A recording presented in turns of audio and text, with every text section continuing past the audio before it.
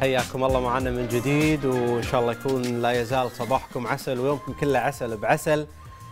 وضيفي عسل بعسل صراحة بحواره بمعلوماته بأسلوبه بكل تفاصيل. أنا استمتع لما يكون هو ضيفي داخل الاستديو بنسولف عن العسل ومشتقات العسل وفوائد العسل ولوين بنوصل ما أدري وياه. أنا احبه لأن حواري معه دائما يكون ارتجالي ما ألتزم وايد بالنص. ضيفي هو سالم العومي النحال الكويتي يا هلا ومرحبا فيك. ساعه المباركه يا هلا مرحبا فيك. الله يحفظك ويبارك الله فيك يسلمك ويعافيك. إحنا اليوم في المقدمة كنا نسولف عن بداية ارتفاع در- درجات الحرارة. ونلاحظ ساعات إن في موسم الصيف قد نرى ارتفاع طبعا الأسعار كلها بازدياد. نعم نعم. العسل لا موسم معين يكون فيه ندرة نوعا ما أو بأصناف معينة. العسل هل يتأثر فعلا بارتفاع درجات الحرارة في الكويت؟ نعم. وما يؤدي إلى ارتفاع أسعاره أحيانا؟ أول شيء في البداية نشكركم على هذه الاستضافة. حياك هذا ندل دل اهتمامكم بالنحالين بالكويت واهتمامكم في توعية الناس آه، في أكل العسل. اليوم العسل والنحل والنحال والكويت كلنا نتأثر في ارتفاع درجة الحرارة طبيعي طبيعي طبعا آه، تخزين العسل في آه، درجات حرارة مرتفعة نعم. تتلف العسل يصير خلاص غير صالح للاست- للاستهلاك الآدمي خلاص إذا العسل إيه. إذا العسل إيه. مو النحل إيه. إذا العسل تعرض للحرارة خلاص يخترب العسل ما يكون صالح للاستهلاك خلاص آه. حط عليه X خلاص خلاص أما بما يخص النحل النحل بالصيف مع الأسف بالكويت يموت اليوم إحنا نتكلم بالصيف درجة حرارة داشين بعد يوم يومين داشين شهر ستة صحيح. وشهر سبعة راح تصير درجة حرارة 50 وفوق. بالظل 50 وفوق بالظل. فشنو تتوقع من هذا المخلوق الصغير اللي وزنه لا يتعدى حتى اللي هو جزء من الجرام؟ صحيح. يعني ممكن العشر نحلات يلا يلا تي واحد جرام. شو تتوقع منه؟ هل يقدر يعيش؟ ابدا ما يعيش. نهائيا. حتى كان في محاولات كثيرة من النحالين بالكويت أن هم وأنا من ضمن النحالين حاولنا أن إحنا نخلي النحل يعدي الصيف يدش معنا موسم يتأقلم. السدر. ما قدرنا. أغلب المحاولات فشلت. حتى وصلت معنا المرحلة والإبداع أن إحنا نحط تكييف. محميات. محميات محميات. تكييف. ولكن النحل ما ما ما نفع ليش؟ لأن في أمر جوهري في هذا الموضوع، اليوم لما نقول إحنا لما نربي الدواجن مثل الدياي ولا لما نربي الأرانب ولا لما نربي الحيوانات اللي نقدر نحطها في قفص نقدر نحطها في هذه البيئة. صح. النحل من الحيوانات أو من الحشرات اللي المفروض انها هي تطير تسرح صح فاليوم ما تحكرها ما يعني. احكرها ما تحكرها. فلهذا السبب ما نجح معنا الموضوع بالكويت. إنزين هذا هذا سبب من أسباب ارتفاع بعض نوعيات العسل خلينا نقول غير إنزين نعم. يعني الفضول وأنت تسولف العسل أنواع أه، الحين لما يموت ال- ال- المناحل تموت أو النحل يموت بالصيف أو تقل أعداده يصير نادر جدا هل هذا يؤدي إلى أنكم بحاجة إلى استيراد مناحل أو نحل مع نهاية موسم الصيف صح تستوردون صح إحنا كل سنة بالكويت إيه؟ نستورد النحل من برا الكويت نجيبه بطيارات طيارات مبردة تمام. تخيل بأن هذا مكلف إن أنت إيه. تجيب نحل بطيارات خاصة حلو. مبردة من دولة إلى دولة وبعد ما تجيبه بالكويت تسوي الأمور الخاصه في الجمارك والتخليص وبعدين توزعه يعني تسوي الأمر اللي هو الخطة ال logistic اي في مناطق الكويت تمام. ومناحل الكويت هذه كلها هذا كله مكلف حلو التكلفة هذه بالنهاية تعود إلى أن ارتفاع سعر ال- هذا العسل أكيد. هذا أكيد. إحنا ودنا ننزل الأسعار إيه. ولكن اليوم هذا الأمر يفرض علينا من يعني الأسعار لأن هي تراكمية أكيد أكيد أنا عندي دائما أقول آه، 25 في أربعة وأقول خمسة في 100 شنو هذا؟ شنو هذا؟ شنو هذا يعني؟ منو منو يربح أكثر النحال اللي يبيع الكيلو بخمس دنانير ولا النحال يبيع الكيلو ب 25 دينار؟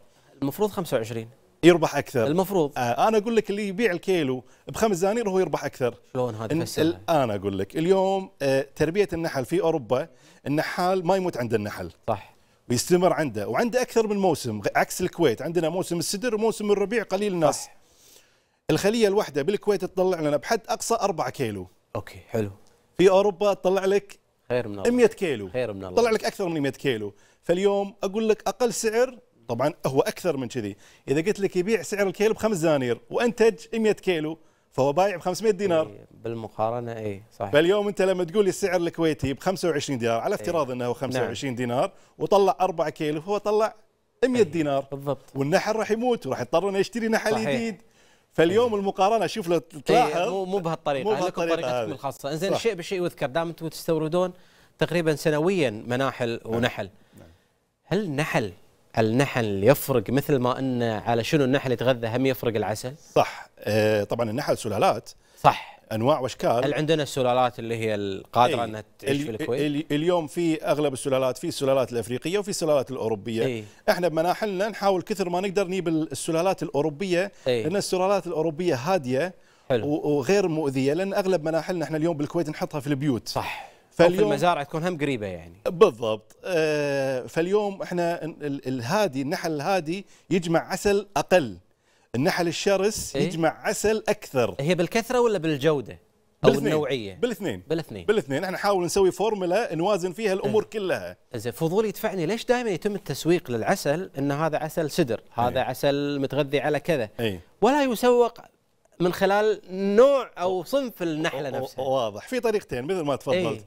إيه. أما يسمونه على الموسم إيه. مثلا عسل خريف صح. أو عسل الربيع إيه. أو يسمونه على نوع الزهرة أوكي. هذا طبعا في ناس أقول لك أصحاب المدرسة الفلانية وفي أصحاب المدرسة الفلانية في بعضهم يقولون كذي وفي بعضهم يقولون كذي تمام ما أبي أسألك قد يكون هذا سؤال تقليدي لا شيء صار متداول وايد شلون أعرف إن العسل الأصلي عن المو أصلي مو هذا اللي بسولف ما شاء الله تبارك الرحمن اصبحتوا حتى إن حاليا في الكويت ويعني ما عليك زود أنت كذلك مبدع في موضوع أصناف وأشكال وتفنتك في العسل. نسمع سد عسل سدر عسل آه، مسميات وايد.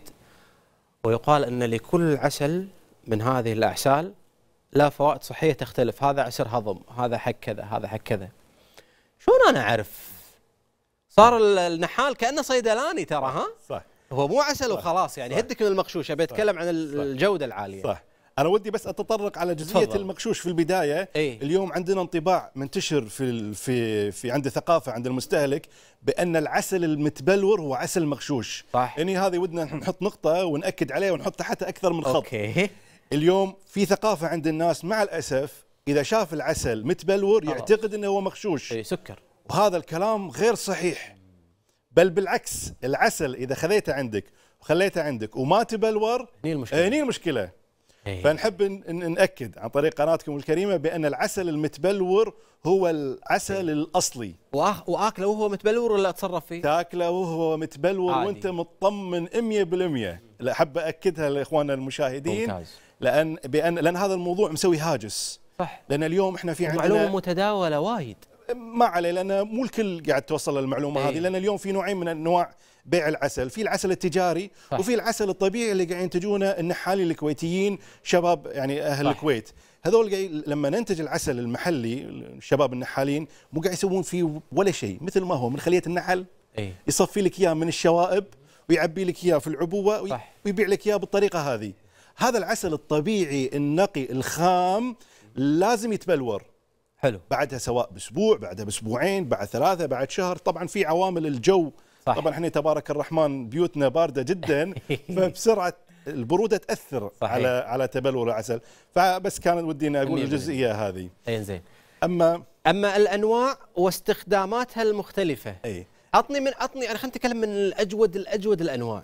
طبعا آه اليوم إحنا بالكويت أو بالوطن العربي آه ما راح أتكلم عن الجودة راح أتكلم عن الرغبة. اي يحبون الأعسال الغامجة ريحتها قوية الطعم ال ال إيه. ال الف يعني اليوم السدر بالنسبة لهم هو ال top ال model صح. لما تعطيه عسل خفيف يقول لك شنو هذا يعني آه، يعني آه، قشمرة هذا. إي يعني يقول لك العفو بس يقول لك مثل زيت زيتون إي يعني ليس نقصا في عسل نعم. في, في زيت الزيتون ولكن إنه يكون خفيف ما يحبونهم هو يحبون العسل ثقيل. الثقيل وريحته قوية هذا انطباع يعني توارثناه يعني بين نفس الأجيال دهن العود كذي نفس العود نفس. بالضبط. أما بخص اللي هو الشغلة اللي أنت تكلمتها اللي هو الصيدلاني آه مع الأسف في ناس قاموا يلخبطون شلون؟ النحال نحال إي. الدكتور دكتور والصيدلاني صيدلاني. حلو. ما يصير. دمج بينهم. إي. يعني اليوم أنا بعد خبرتي 12 سنة في تربية النحل ما زلت ما أعطي نصائح علاجية. ما تعطي. ما نعطي.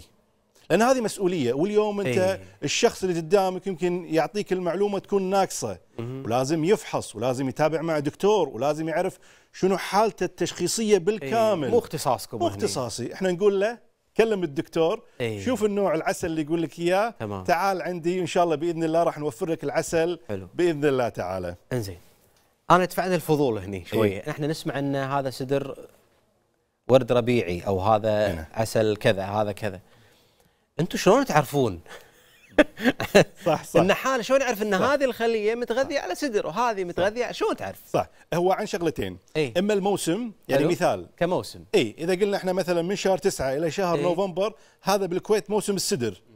أو إذا خذيت النحل وحطيتهم في مكان في نوع من أنواع الزهور. مثلا رحت مزرعة أنت في العبدلي وفي هذه المزرعة عندك نعم. آلاف الأمتار من البرسيم. اي فحطيت النحل هذا خلاص وسط رسمي. البرسيم. فخلاص أنت مسوقر إن هذا عسل برسيم طبعا بعدها لازم أنت تأخذ العسل هذا من واجبات النحال إيه. إنه هو. يسوي verification ياخذ العسل هذا يروح يسوي فحص ويأكد آه، وياكد نوعية النحل عفوا نوعية العسل, العسل، إيه. لأن أنت النحل بالنهاية هو النحل حر ينطلق طبعاً. وين ما راح بالضبط. النحل يروح ينطلق إلى مسافة 3 كيلو و3 كيلو مسافة ما هي يعني بسيطة، صح. ما هي بسيطة فالنحل ممكن يروح هني ويتغذى على هني ويتغذى على هني فلازم النحال يسوي check verification بأن هذه هي نوعية العسل اللي ممتاز. راح يبيعها ممتاز كذلك يدفعني الفضول أن النحالين في الكويت بشكل عام وأنواع العسل بشملها التجاري والمحترف بسميه المحترف نعم. تمام إذا أبي شيء محترف لازم أقصد المحل لازم أقصد النحال لازم أقصد هذا سؤال كذي. ما أشوف منتجاتكم موجودة متوفرة بالأسواق الجمعيات التعاونية. دائما أشوف الأشياء الاستهلاكية اللي موجودة باستمرار أو قد تكون مصادرها أوروبية. أنا أحس إن ناقصكم شيء. وال- والله على الجرح ناقصكم شيء. على الجرح للأمانة لما يكون ال- ال- العمل عمل نحال وما يكون عمل لمستوى تجاري الإنتاج يكون قليل. ما يكفيك إن أنت توزعه في كل الجمعيات وما ما يكفيك إن أنت تحطه في كل الأرفف. آه العدد محدود. ال ال الإنتاج عندنا محدود لأنه هو إنتاج طبيعي 100% صح. لذلك الكميات تكون محدودة. هذا واحد. اثنين اليوم إحنا كنحالين مو تجار ولا قاعد نشتغل في عمل تجاري عميق. اليوم حب. اذا إحنا بن بحب. بالضبط إذا بندش في العملية هذه وإن كان اذا قلنا مثلا بنحط حبتين في كل جمعية إيه. يحتاج وراها تكاليف وموظفين وكذا يعني بعيدة كل البعد عن مستوى ال- النحال اللي هو إنه يدشها بالعملية التجارية إحنا ماخذينها محبة وحب واضح. اي يعني هذا واضح من أي باب خصوصا لشخصك الكريم الله يحفظك أنت حاب هاوي عندك. شغف الموضوع والدليل إن أنت مكرس وقت لتحبيب الأطفال في هذا المنتج أو بالعسل بشكل عام مو ان تعالك العسل شوفه حلو غيره لا أنت عندك حب إنه وسعة صدر إنك تعلمهم تعالوا شوفوا والنحله وتعالوا وتلبسوا صحيح شنو سر هذا النشاط؟ صحيح لا علاقة بطفولتك ما أدري تجربة شخصية شنو؟ والله للأمانة جائحة كورونا علمتنا وايد شغلات إيه. الله يبعدنا عن هالجائحة وما. يعيدها يا رب جائحة كورونا شفنا الويل من أولياء الأمور عيالهم ما يأكلون عسل اي عيالهم ما يأكلون عسل نهائيا وتعرف قبل لا ينزل التطعيم كان في خوف على ال- ال- الأطفال من الآباء وال- والأمهات فكان البديل اللي هو أكل الصحي وأهمهم وأفضلهم كان العسل فاليوم إحنا لما شفنا هذا الخوف والتمسنا هذا الخوف وكنا نقول لهم يا جماعة ليش ما كنتوا تأكلون عسل من البداية؟ صح. ليش صار الاهتمام في العسل اليوم بعد الجائحة؟ الاهتمام في العسل لازم يكون طول السنة يكون lifestyle اليوم نمط حياة إن أنت تاكل عسل يوميا. في ناس يقعد الصبح لازم ياخذ له اللي هو القهوة. نسبريسو اليوم الصبح. كذا. اليوم أنا أقول لك اخذ نسبريسو عليك بالعافية. إيه. وحط يمه عسل يا جماعة. إيه. لازم ندخل هذا النمط. فاليوم الأطفال قصة الأطفال إحنا اليوم في شركتنا عندنا آه، مسؤولية اجتماعية. إيه. أنا كنحال عندي مسؤولية اجتماعية بأن إحنا نحبب الأطفال في هذا الأمر. عشان نساعد أولياء الأمور ونسهل الموضوع هذا. فتقريبا آخر آه، ست شهور استضفنا وأنا رحت أو سواء يو عندنا المناحل لا يقل عن 2000 أو 3000 طفل. سواء كانوا مدارس نوادي معاهد عوائل يد مع عياله مع أحفاده. نستقبلهم بال. بالمنحل جميل، جميل. كل هذا مجاني اي ونوريهم العملية من الألف إلى الياء طبعا هذا في مواسم معينة في موسم بعد الفرز على إيه. أساس يكون عندنا الجو الجميل تمام تقريبا يكون آه، شهر 12 حلو. إلى شهر ثلاثة إيه. فتحناها للجميع إنزين على هالطاري آه، هم باخذها بشيء على عجالة في ناس ودها إيه. بس يا الأم والأبو يخافون أو الأهالي يخافون أو هم يخافون على عيالهم إيه. نبي نطمنهم ابدا ما في أي. خوف نهائيا إحنا ناخذها بمراحل أي. ال- الكورس مالنا يقعدون حلو. تقريبا معنا ساعتين ثلاث ساعات خلال الكورس هذا نح- بن- ن- يعني ناخذها بخطوات بسيطة جميل. إلى أن يطمن قلبه فما عنده مشكلة صح. بعدها يدش المنحل واللبسه اللبس بعد ما يطمن. حتى يشيل اللبس ويمسك النحل خلاص. من غير ما لبس هذا النحل جميل. قدامك الحين لا لا. أخلي الطفل اللي عمره ثلاث سنين يمسك النحل من غير لبس تخيل طفل صغير يدوب يقدر يشيل إيه. أخليه يشيل النحل جميل. من غير لبس لأن إحنا اليوم مطمنين بأن جودة نحلنا يعني جودة جدا نعم. عالية وجدا غالية على أساس الأمان حق أصحاب البيوت والجيران ممتاز, ممتاز. ضيفي سالم العومي أمانة أنا أقول أنا صريح من الضيوف اللي أحب أحاورهم لأن أخذ راحتي معاهم الله يحفظك وأنت ثري في معلوماتك. لذلك بستغل الفرصة قبل لا ينتهي الوقت وقلنا في كلامنا أن النحال مو صيدلاني لكن عنده علم. نعم. ممكن يحتفظ فيه لنفسه أو يبر فيه أقرب الأقرباء ما يعطيه العلن لكن بستفيد منك. للأسف إحنا لا نلجأ إلى منتجات العسل إلا إذا مرضنا ضعفنا. يعني مو باستمرار بشكل يومي نروح له. فالمنتجات في العسل صارت أشكال وألوان. بعضها طبيعي بعضها أحيانا مصنع يدش في تكوينات ادويه حتى دواء الكحه في دواء معروف مشهور اللي هو العسل قد يكون نادر أحيانا وجود توفره. اليوم بشكل عام إيش تنصح آه، من أشياء أساسيات نتكلم؟ ما ندش بالعمق. إيش تنصح في بعض الأمور؟ خلينا نقول الحين في موسم إنفلونزا تقريبا هذا الموسم الحين. مو أي عسل أخمه من هذا وأقول آخذه. إيش تنصح في هذا الجانب؟ طبعا؟ من, من هذا الجانب من هذا الباب طبعا أنا دائما لك لغم أنا بس شيء. لا لا ما- إيه. في شك بأن العسل المحلي هو أفضل شيء. المحلي. المحلي. إنزين. يعني بقول بصريح العبارة العسل الكويتي. ليش؟ لأن اليوم آه، العسل الكويتي يحتوي على جميع الحبوب اللقاح اللي موجودة بال- بالمحيط اللي إحنا إحنا فيه. نعم. اليوم لما تغير الجو لما صار الغبار الناس مو بس انفلونزا حتى صح. تحوشها الحساسية. الحساسية الموسمية. الحساسية الموسمية. فأنت اليوم لما تأخذ العسل الكويتي على سبيل ال- ال- المثال عسل السدر الكويتي تاكل من هذا العسل تقل عندك أعراض الحساسية والإنفلونزا ومناعتك استجابتك للمرض تكون. أقوى. فأنا دائما أنصحهم بالعسل المحلي إن ما توفر عليك آه، بالمستورد. ممتاز. نوصل إلى العلاجات في موضوع آه هذا بين فترة والثانية يظهر يطفو على السطح بلسعات النحل. وقلت لي رقم خرافي. أنا عندي قنبلة في هذا الموضوع. رقم خرافي. قلت لي في موضوع لسعات النحل والأسعار اللي وصلت. هل السعر هذا العلاقه بنوع اللسعة نوع النحلة؟ ما أدري. اليوم مثل ما أنتم تعرفون بأن آه، اللي هو النحلة تعطينا ست منتجات. okay.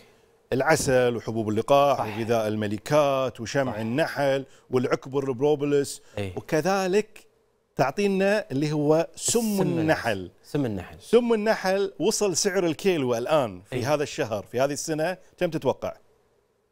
ال- اللي ينباع كذي إيه. ولا نحلة تل- تلسع لا لا سعر كيلو آه، ميمعينه. إيه كيلو كيلو النحل إيه إيه. كم وصل وصل سعر الكيلو من سم النحل البودر وصل سعره 13000 دينار والله. كويتي تخيل هذا ش يعني شلون هذا يعتبر كدوة ولا؟ تخيل هذا ياخذونه طبعا ياخذونه من النحل 13,000. 13000 تاخذ دينار. كويتي. مو دولار أكد.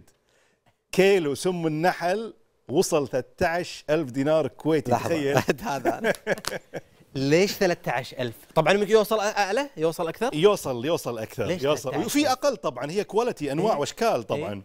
آه اليوم سم النحل يعتبر من أهم المواد اللي يتم وضعها في اللي هو ال- ال- الأدوية فياخذون شركات الأدوية الكبيرة يحطونه في علاجاتهم لأن له تأثير جبار على الإنسان آه مو للأفراد العاديين يعني لا لا ياخذون الشركات شركات ياخذون آه، الشركات okay. وبعدين الشركات يخففونه بطريقة معينة. ويضيفونه إلى العلاجات والأدوية اللي عندهم إي. ويقدمونه إلى المستهلك في الصيدليات تمام تخيل وصل أكد لك 13,000. الرقم الرقم أنا لأن كنت أجيب- بجيب كيلو اي فلما عرفت السعر هونت. اي رجعت قاري ما نقدر ننتجه هني محليا صعب والله صعب, صعب. اليوم اي صعب. جدا إحنا يا دوب نسلم على العسل إي. يعني يا دوب نسلم على العسل وهذا الشيء يخليني أتطرق إلى موضوع إن إحنا ودنا نزيد الزراعة زين. بالكويت ممتاز. ونزيد اعتمادنا حلو على النحل على الأمن الداخلي داخل الكويت زين على عجالة بشكل سريع العلاج بلسعات النحل لازم واحد مختص ولا أي نحال يسويها؟ لازم مختص. لازم مختص. لازم شخص مختص إنزين. في لسع النحل. حلو. في كل شيء في لازم واحد كل شيء واحد مختص. نعم. إنزين على عجالة بشكل سريع. قلنا أمراض قلنا أمور معينة.